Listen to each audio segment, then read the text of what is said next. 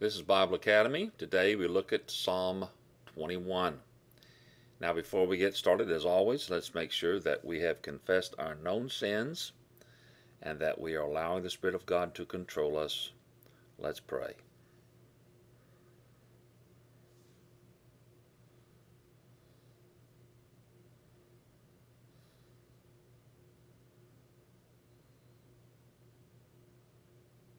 Heavenly Father, we thank you again for the opportunity and privilege and everything you've provided so that we can study your word.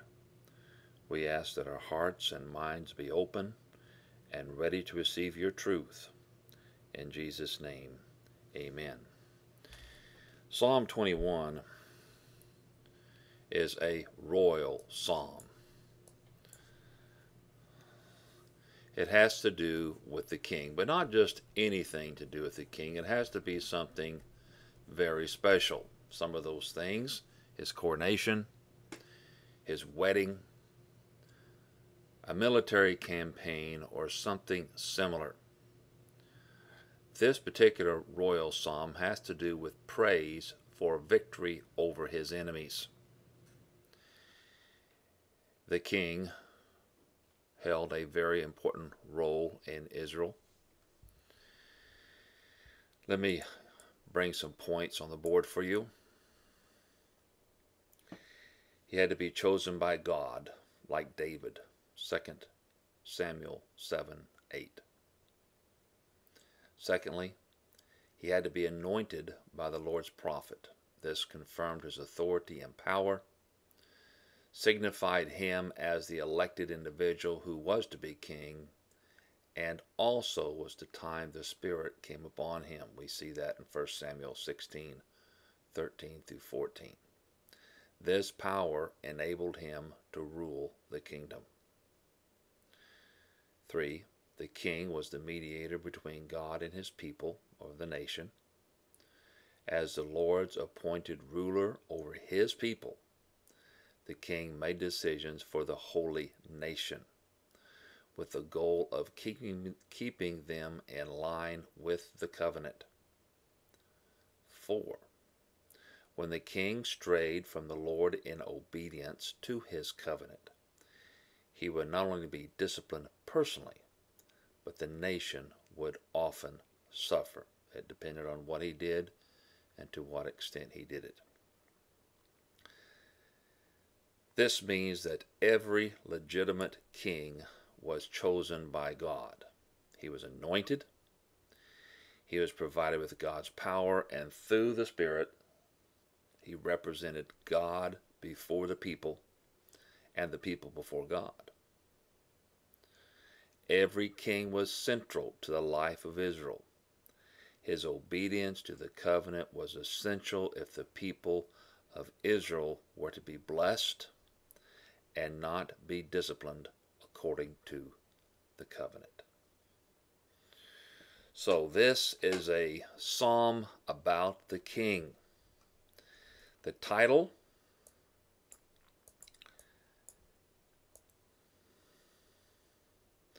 A Praise for Victory in Battle.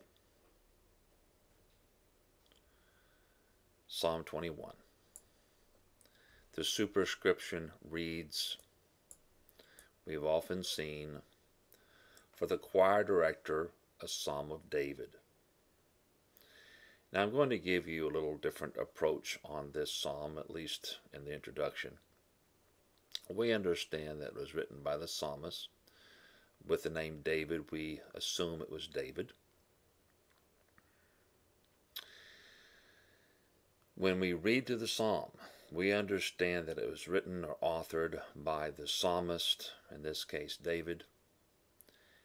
But when it is read, that is, it officially uh, proclaimed before the people, there are several people involved. Uh, we're not told which one is speaking. In fact, it might be different people on different occasions. But involved is the king, the priest, the prophet and the congregation or the people of Israel. They will say different parts in different lines. Sometimes it's more obvious than it is at other times. but this shows us how it was used within the congregation of Israel. All I'm trying to tell you is David wrote it. He may have wrote it from his heart at the time he wrote it, but it was applied or used during their ceremony. Several people could be involved. So they would sing this on those occasions mentioned earlier, such as a victory in battle, a war's ended, the king's coronation or a wedding, while recalling the victories through the Lord. Important in all of this is that when they sang this psalm, it reminded the people of the importance of keeping the covenant. The covenant would be kept up in front of them, them being made aware again that they need to keep the covenant to receive the blessing of God, and it was very true of the king also. In this psalm, we will see them recall the past acts of the Lord and their life and nation, then the present activity, and then look forward to his future work and their lives. So we see about the first third of the psalm, or I should say almost first half of the psalm, looking to the past. Then we have one verse, it's a transition verse that looks at the present, and then they look to the future, anticipating blessing from the Lord, uh, not only to the king, but because the king's being blessed, the nation will be blessed. All right, verses 1 through 6. We have 7, and then we have 8 through the last verse here. That's where it's divided up. Now let's talk about 1 through 6 a little bit more before we look at verse 1. Though the psalmist wrote this, and let me just say that it's usually assumed that David wrote it, but other scholarship has begun to learn that, well, maybe it doesn't always mean it was just David. I mean, maybe it's his style, maybe it's just uh, something they attach to almost all these Psalms, but I still hold the view that it was David. So, what I want us to understand is though the psalmist wrote it. There are other people involved in actually saying it during the ceremonies. Now we would know that's obvious after David had wrote it and moved on or or died or uh, was involved in something else and they'd be back using these psalms back in the the temple worship or the the tabernacle worship actually when David was alive. But these other people would be involved in giving thanks to the Lord for his strength and deliverance for the king. So they're basically referring to the king and his relationship to the Lord. So this is from the perspective of what has happened in the past, the first six verses. Let's begin. Verse 1. Who's speaking? Perhaps a priest or prophet. O Lord, the king rejoices in your strength you give, and he rejoices greatly in your deliverance. In the Hebrew, the Lord's strength and deliverance come first in each line, emphasizing it is the Lord's strength and deliverance.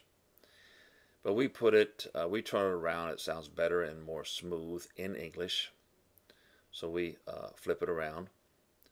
But we don't want to miss that it is because of the Lord's strength um, that there is deliverance and victory that results in the king rejoicing.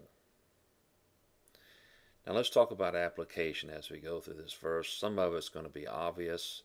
Uh, we can step into the uh, role as the king as far as applying these things as long as we don't see ourselves as the king and just understand that it applied to him a certain way, but it also can, let me put it this way, it applied to him, but we can make application with the principle in our own lives. I'll point out a number of those. But when you do read the Psalms, keep in mind this background helps you filter out uh, what you don't want to uh, misinterpret. Helps you interpret it properly so you can make the right application. So, uh, let's go to verse 2 where we see the prayer answered. You have given him his heart's desire, and you have not withheld the request of his lips. Selah. Selah, again, is that uh, one word that uh, scholarship is not absolutely sure what it means. Some mean, some think it may be an interlude in the music, or there's a change to a higher pitch, perhaps a rest, a pause, here we see the king is a praying man. He prays his heart's desire, and the Lord grants his request.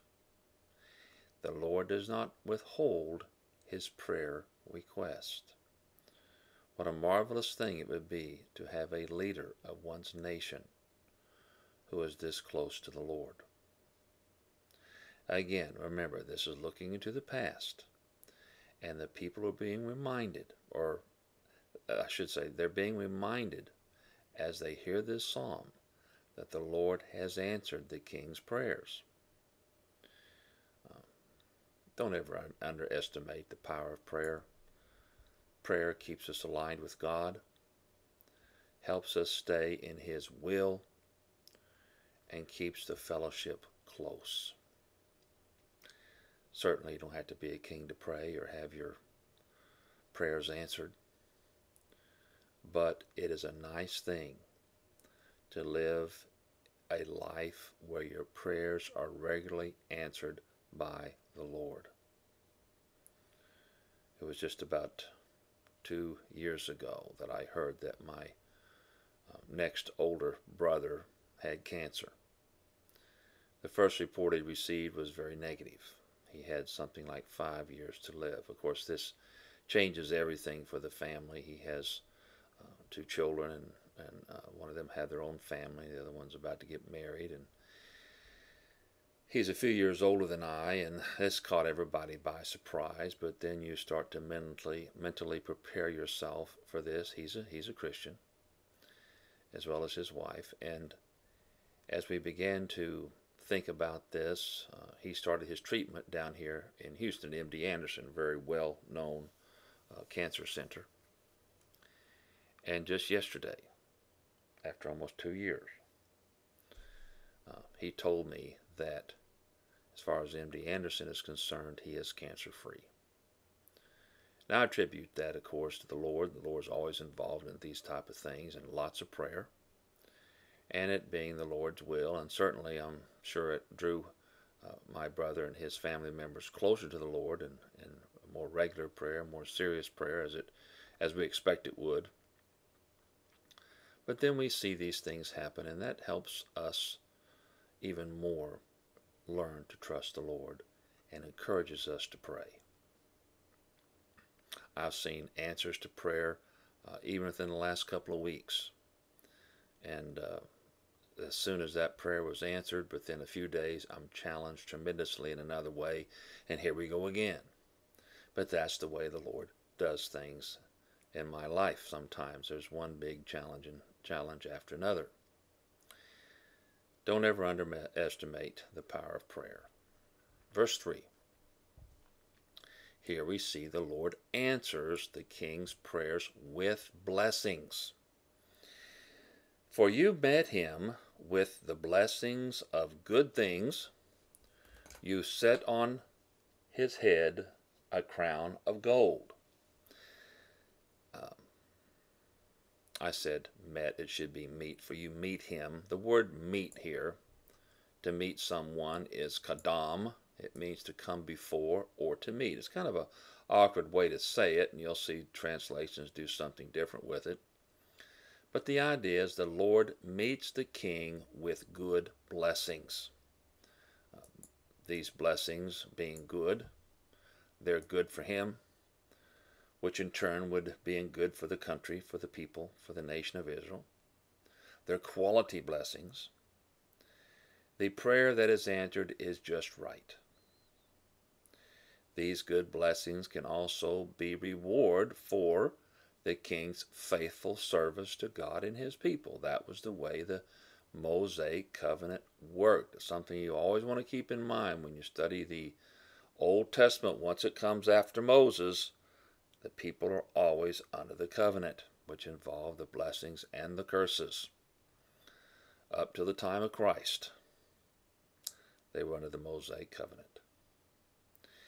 Some of the blessings that we're going to see come to the king, given in this psalm, is a long life, great honor and majesty, uh, happiness as a ruler, gladness in the Lord's presence.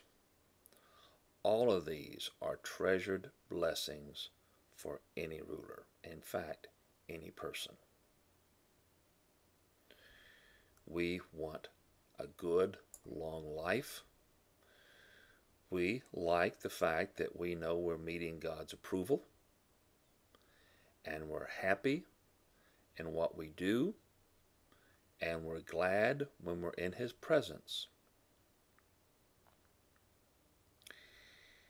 The last line says, You set on his head a crown of gold. Now, obviously, this is figurative. Um, the Lord didn't come down and just put a crown of gold on his head, so it's figurative. In a sense, this means the people have recognized the person who announces this. They acknowledge that the king has met with divine approval. He's doing excellent as a king. The Lord himself recognizes the king as doing well, and the people acknowledge the king's divine approval. In verse 4, the king receives extended life and reign as a blessing. He asked of life, you gave it to him. Length of days, forever and ever. Well, the question arises of when did the king ask for life, for longer life? Well, we don't have that in this psalm. But any king who has to regularly battle or send people off to war, he has both external threats and internal threats.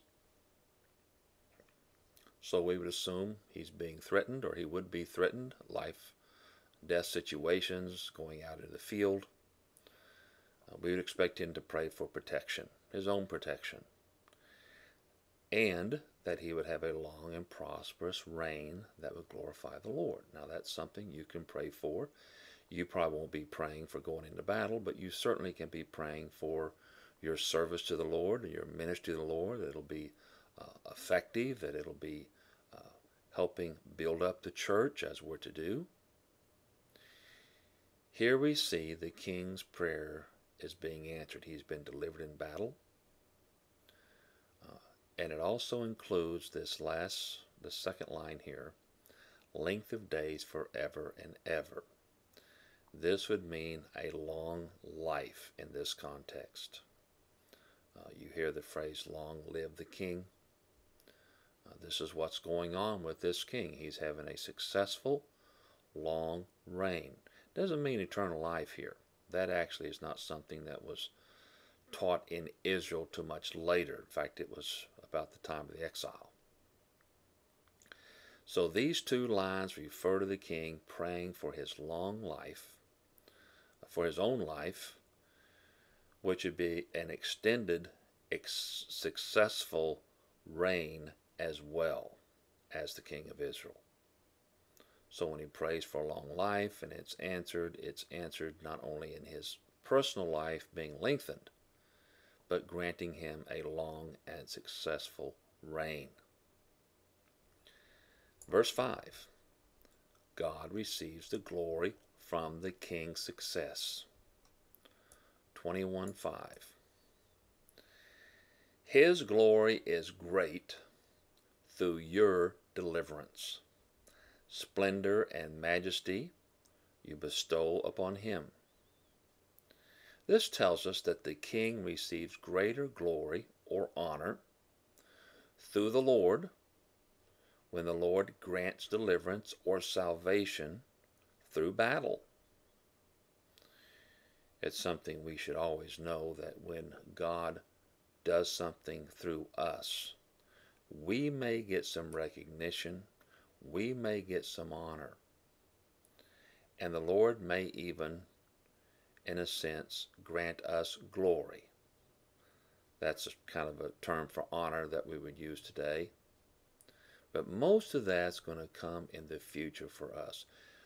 The reason this is obvious because we're not a king. We're not set up today to receive glory and honor as a king would from his people. You may get some admiration from your family or maybe your spouse or close people, loved ones, friends, and so on. But we're talking about real glory and majesty, recognition of the highest kind on earth. Let's talk about the word splendor. Kind of a strange word for what we have it meaning. Hod. Hod. Uh, it means splendor or majesty. And then a word that's almost synonymous. Hadar. Hadar. It means honor and can mean splendor. So you're basically saying the Lord bestows splendor and majesty or honor.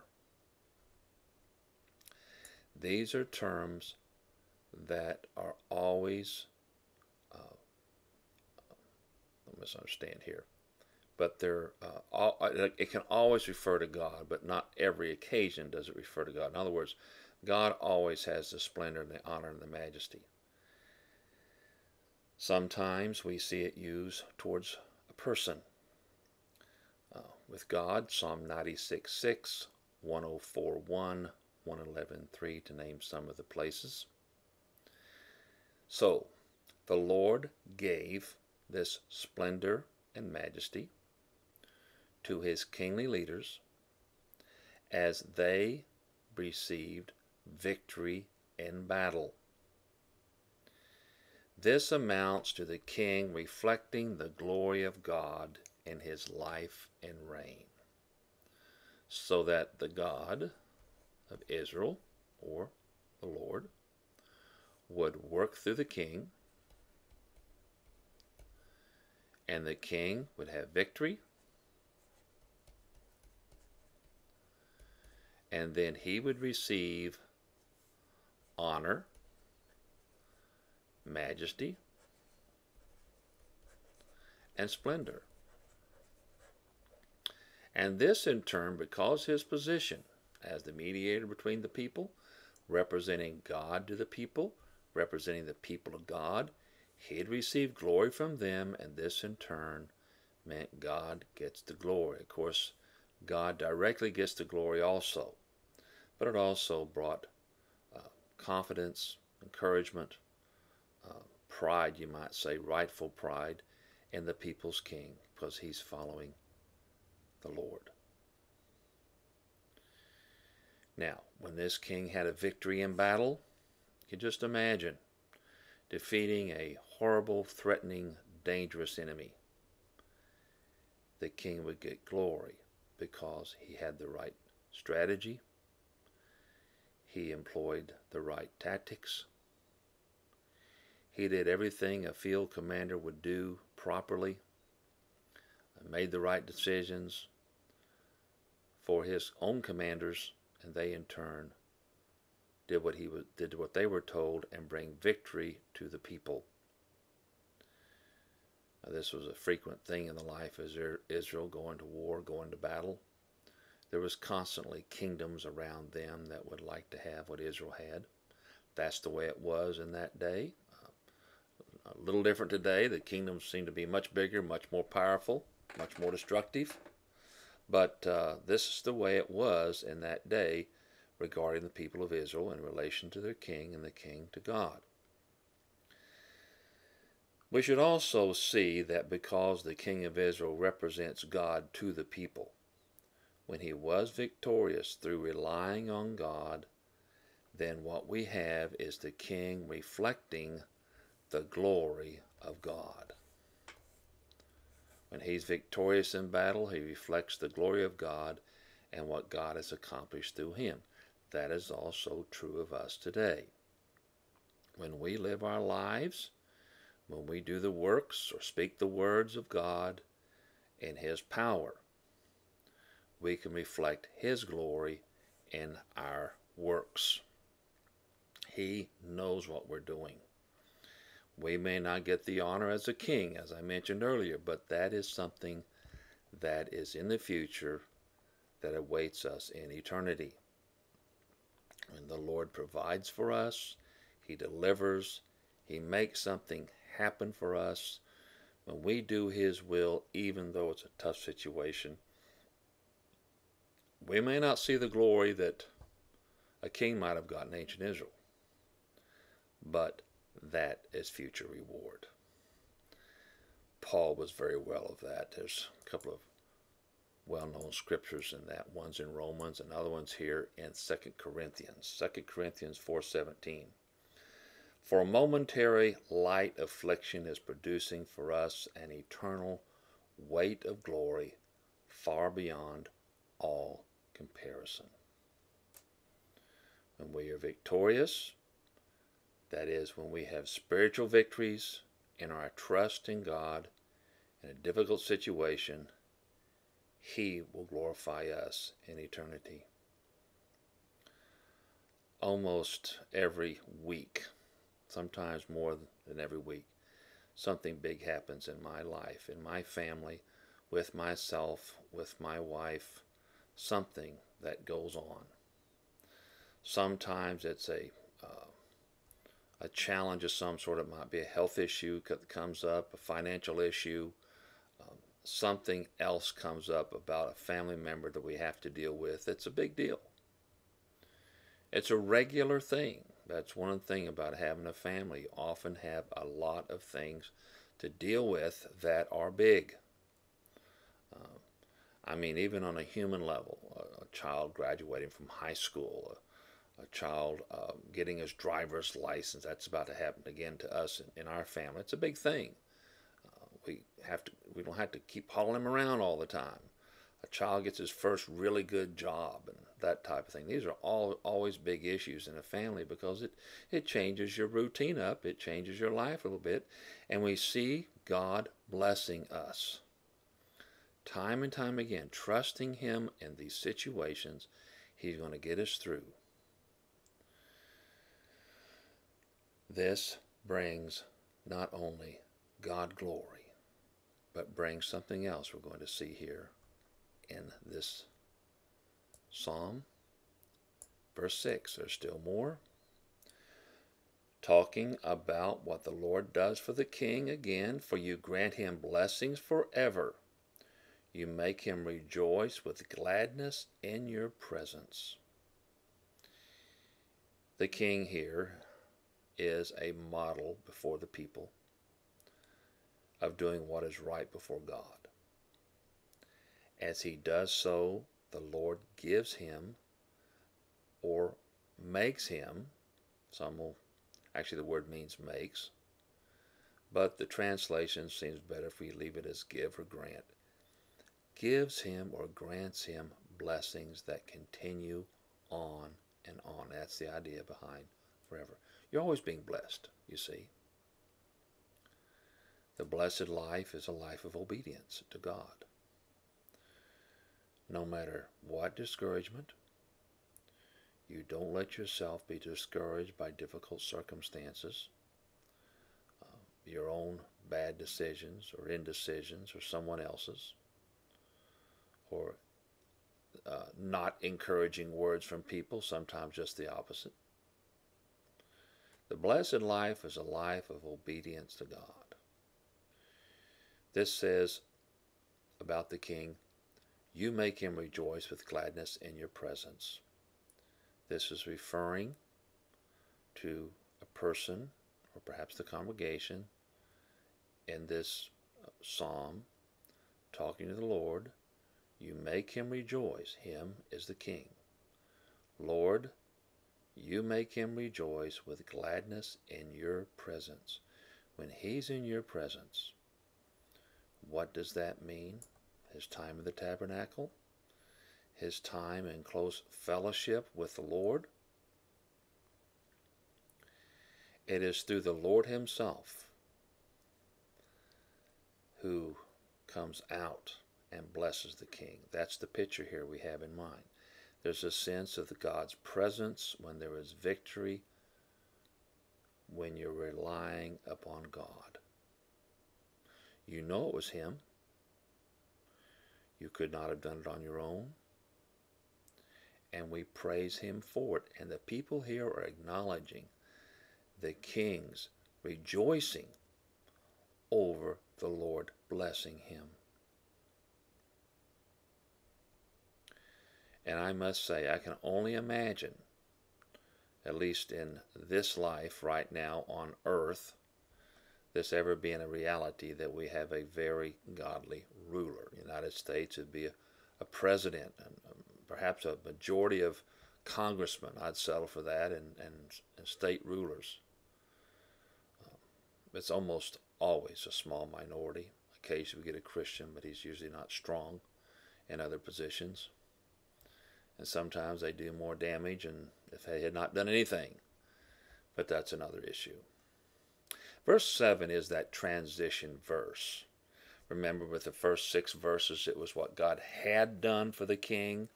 Verse 7 tells us what is going on in the present.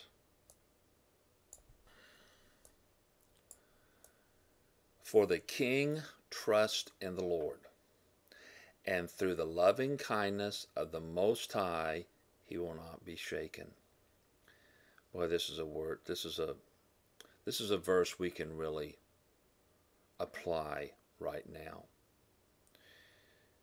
Let's look at it closely. We see the exchange between the king and the Lord. First, we see that the king trusts in the Lord. This is an ongoing, present active thing.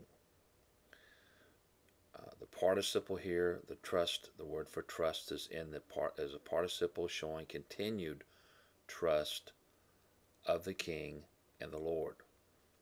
The exchange that takes place as the king continues to trust. Let me go ahead and just outline this for us. So as the king trust the Lord. All right. The Lord, in turn, uses, it this way, the Lord operates under the principle of loving kindness. Loving kindness let me talk to you about that. Has a lot to do with the word grace. The word is actually, here I can put it up there, chesed. Actually seen that a lot. God's goodness and kindness towards man. It can mean loyalty.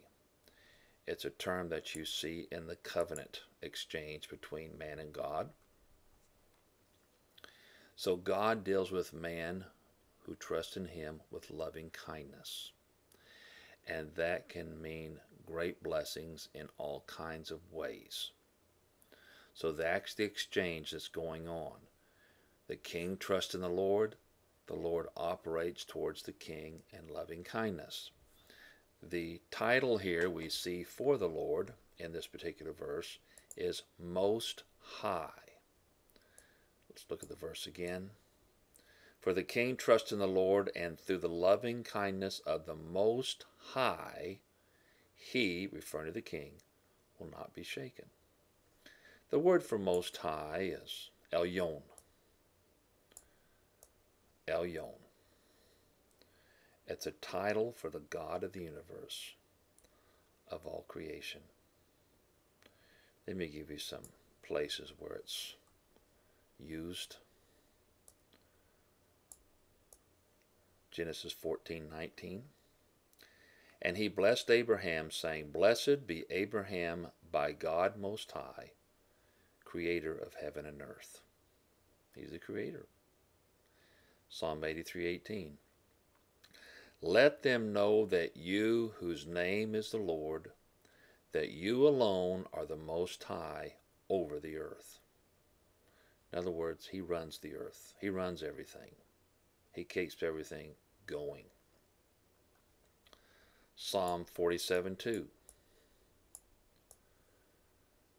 For the Lord Most High is to be feared a great king over all the earth. He's the king of the universe. So,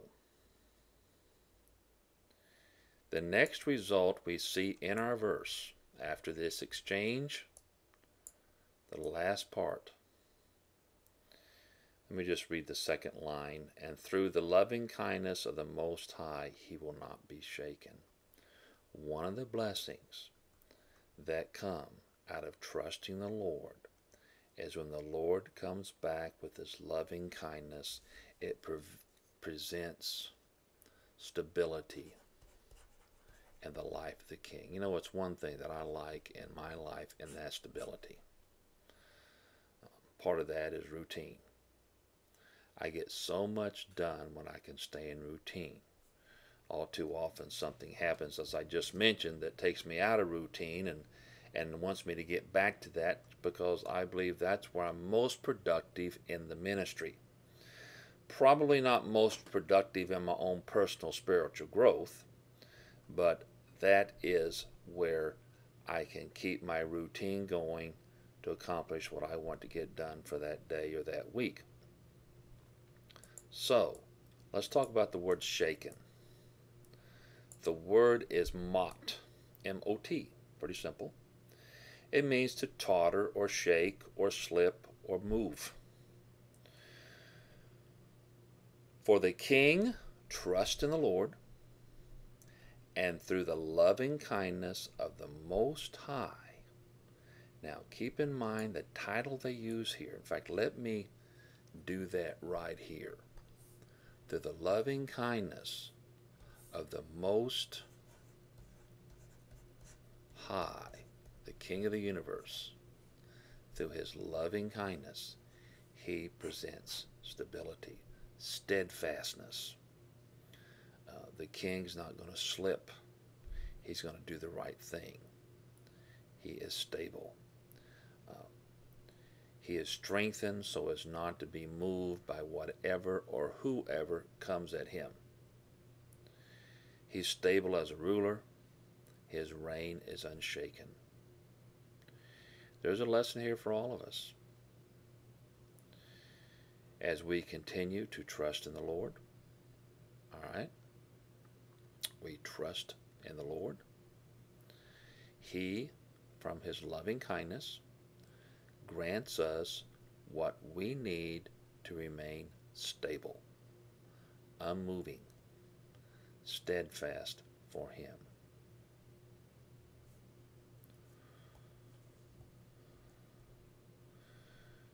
As I mentioned earlier, these are covenant terms. Uh, such terms as uh, loving kindness, trust. These go back and forth between a believer and his God. That reflects a covenant relationship. We're under the new covenant based on the blood of Jesus Christ, the work of Christ. For the psalmist here and these people who proclaimed this in their day, they were under the old covenant. But the same principle held you trust the Lord. The Lord will in turn bless you in many different ways. We don't see it as a holy nation. Uh, we don't see it like the people of Israel would, but we see it as new covenant people. God blesses us with heavenly blessings. Many of those will be in heaven, but at the same time, we get our share here on earth, where God blesses us with many opportunities to bring glory to Him.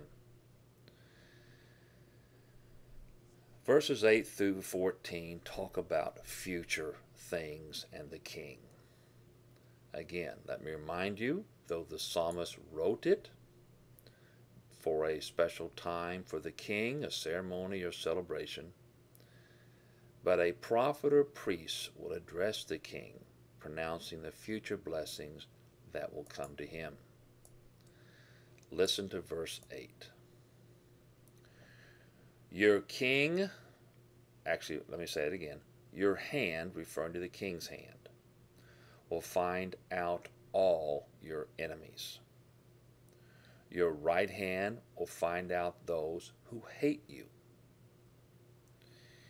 Well, this obvious, obviously has to do with more battle, but not just battle. It can be internal uh, problems within the kingdom also. The repetition of the word hand here, said in a couple different ways, strengthens the point. Uh, the picture of uh, finding has the idea of grabbing hold of one's enemies. In battle, the king searches out and destroys his enemies. His army will find those who oppose him and God's people. Domestically, or internal enemies will become known so they too can be properly dealt with. If there's anything we've seen in our current president is the constant internal and external enemies always going on. Not only enemies of his within this country, and enemies may be too strong, certainly opposition, but there's enemies too as the constant internal warfare that goes on. I'm not talking about just as administration. I'm talking about government as a whole. It constantly goes on. Uh, that's one reason we need to pray for our leaders and pray for our, our president, uh, wherever you live, that you'll have good, stable leadership, that they'll become Christians. What a wonderful thing, like I said, for several of our leaders to become Christians. Domestic or internal enemies will become known so they can be properly dealt with. That's what this is telling us also. Uh, they'll surface, they'll mess up, they'll be exposed, they'll be caught, and that will bring a better rule for the king. That's what's going on here. Verse 9 speaks to the destruction of the enemies. This is strong stuff, so hold on.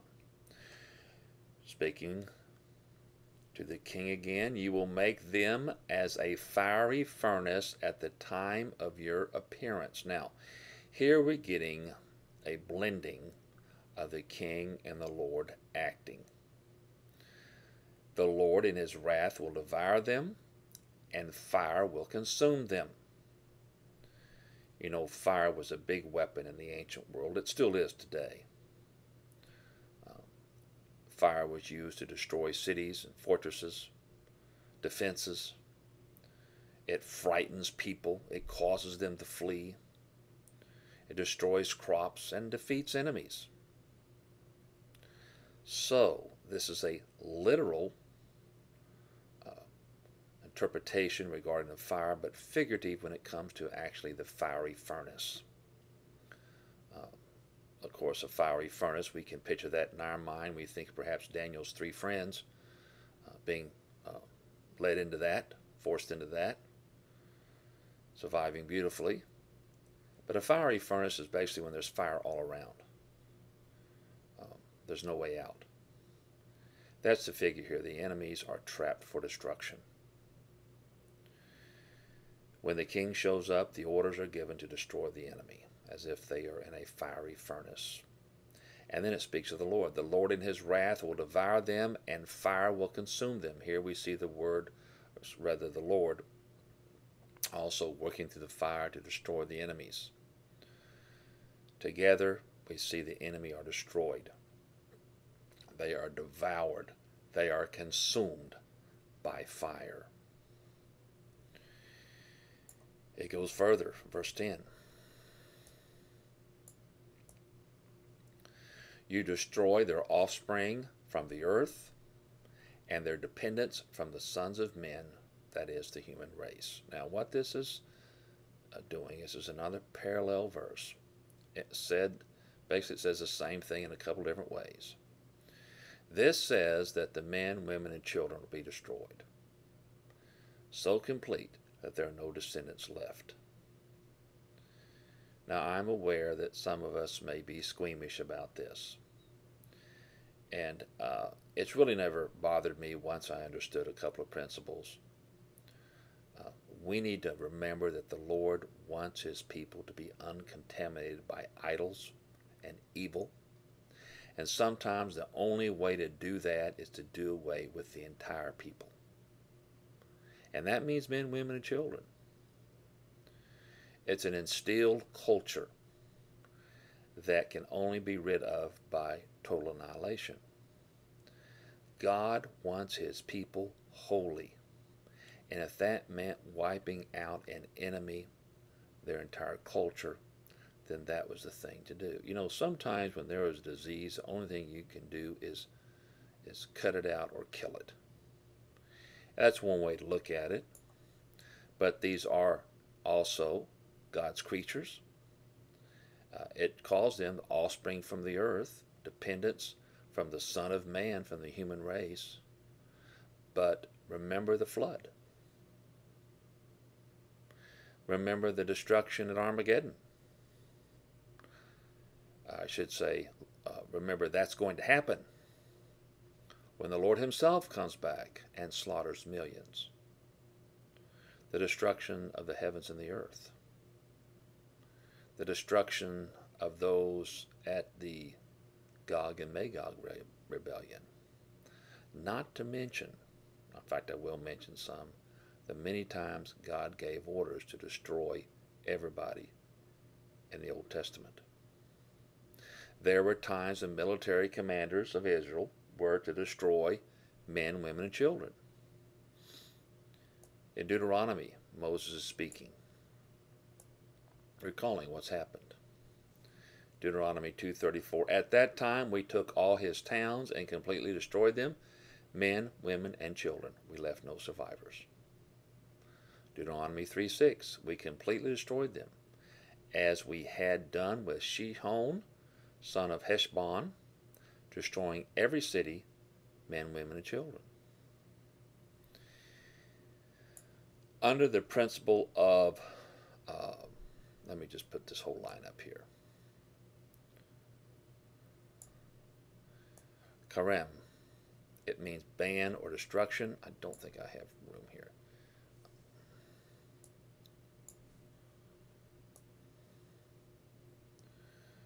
under the principle of haram.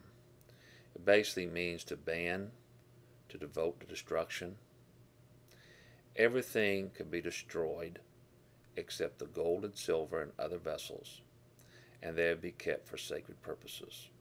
They'd probably put them through a ritualistic cleansing, and they could be used for um, sacred purposes. The verb for karam means to ban or devote or exterminate. I'll spend a couple of minutes on this to help us grasp the extent to which this destruction would take place. Joshua 6 7, the ban calls for everything to be killed, destroyed, or dedicated to God. Now, this wasn't always applied across the board consistently, however. You know the story of Jericho. Did you pay attention to this verse, verse 24? Then they burned the whole city and everything in it, but they put the silver and gold and the articles of bronze and iron into the treasury of the Lord's house. The only thing they were told not to touch that was Rahab and everybody in her in her place. even during the time of the monarchy, the time in which these psalms were written for. 1 Samuel 15:1. Samuel said to Saul, I am the one the Lord sent to anoint you king over the, his people Israel. So listen now to the message from the Lord.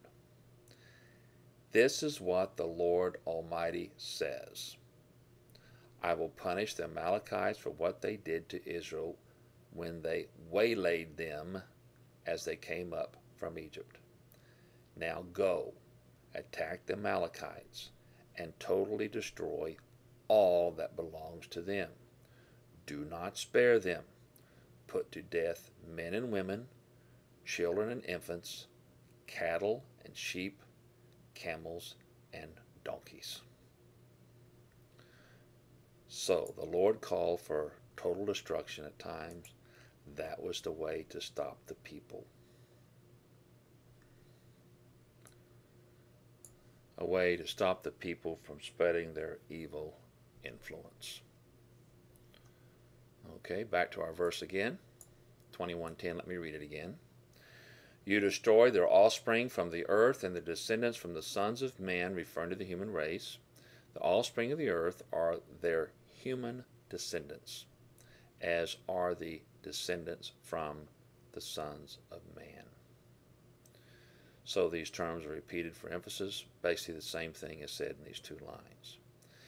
Even the offspring of the enemy are destroyed. Now, from another angle, we can look at this from the cursing and blessing section of the Mosaic covenant. When the people of Israel were obedient, listen to Leviticus 26, 7 and 8. But you will chase your enemies, and they will fall before you by the sword. Five of you will chase a hundred, and a hundred of you will chase ten thousand, and your enemies will fall before you by the sword. The point is, they'll be victorious.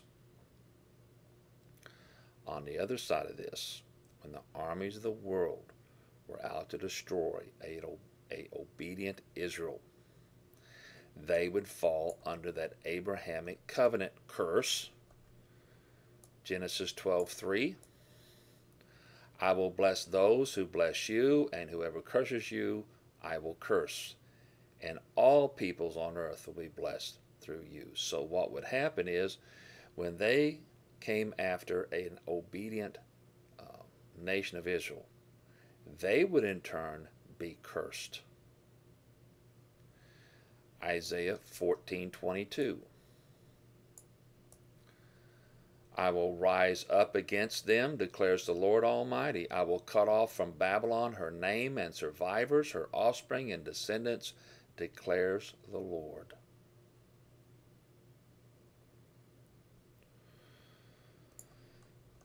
Back to our psalm, verse 11. Though they planned evil against you, they devised a scheme, they will not succeed. Again, it's being said of what they did towards the king. The enemies of the king, whether foreign or domestic, plotted and schemed for his defeat, but they will not succeed at it. The Lord will keep the king in place as long as he so wills. Nothing that even the most powerful, cleverest, threatening army can do will change that. Time for some application. God will keep you where you are as long as it is His will. He will sustain you when you are attacked by those who oppose you. They will not succeed. But let me add this. If it is time for you to move out of there, you may get fired or laid off, asked to resign, then you assume that as long as you know you've been doing the right thing before the Lord, it's time to move on. You really cannot lose with the Lord on your side. Don't ever forget that. My sons come back to me sometimes reporting something that happened to them at school or maybe work. And it is really unfair what happened. In fact, it's incredibly unfair. It, almost it sounds like it was set up to be that bad. But sometimes they'll have a professor or, I don't know, a supervisor, someone who is so unfair towards them that it's a real test for them. I understand. I've been through those things myself. I still go through them now and then. But they need to remember, as we remind them, the Lord's still in charge. If the Lord put a bully in charge of you, or some sort of, we might even call him a tyrant, a, a woman or a man, that's a test for you. And there will come a time when they'll get what they deserve. You do what's right before the Lord. Verse 12. Now they're speaking to the king and his army. For you will make them turn a shoulder. That's an expression, means to turn back. When you aim your bowstring, actually the the figure is for the arrows at their faces. Isn't that one interesting? The idea of making them turn a soldier is causing them to retreat or turn back. That is, to turn a shoulder. Aiming your bowstring is a figure of speech for aiming arrows at their faces, right at them, so they can see what's coming at them, a kill shot.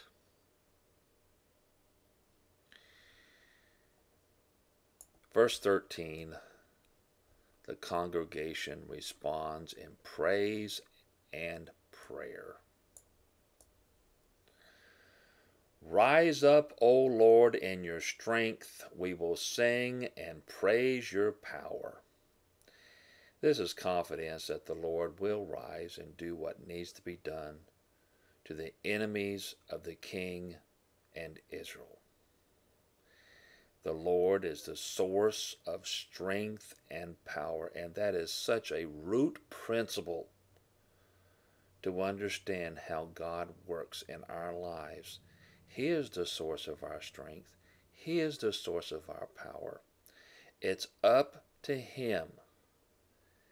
And when He does respond, and He will respond, and this is referring also to the future we sing praises to Him.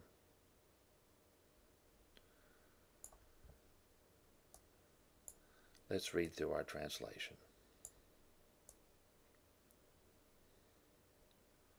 Psalm 21. For the choir director, a psalm of David. O Lord, the King rejoices in your strength you give and he rejoices greatly in your deliverance. You have given him his heart's desire, and you have not withheld the request of his lips, Selah. For you meet him with the blessings of good things. You set on his head a crown of gold. He asked life of you. You gave it to him, length of days, forever and ever. His glory is great through your deliverance. Splendor and majesty you bestow upon him. For you grant him blessings forever. You make him rejoice with gladness in your presence. For the king trusts in the Lord, and through the loving kindness of the Most High he will not be shaken. Your hand will find out all your enemies. Your right hand will find out those who hate you. You'll make them as a fiery furnace at the time of your appearance. The Lord in his wrath will devour them, and fire will consume them. You destroy their offspring from the earth, and their dependents from the sons of men. Though they planned evil against you, they devised a scheme, they will not succeed for you will make them turn a shoulder when you aim your bowstring at their faces. Rise up, O Lord, in your strength. We will sing and praise your power. Let's pray. Oh, Heavenly Father, this has been another marvelous psalm that we can learn from, that we can apply in so many ways in our own lives. Lord, help us learn to trust in you constantly so that we might experience your loving kindness in blessing us and giving us spiritual victory after victory so that you in turn receive the glory. We ask these things in Jesus' name. Amen.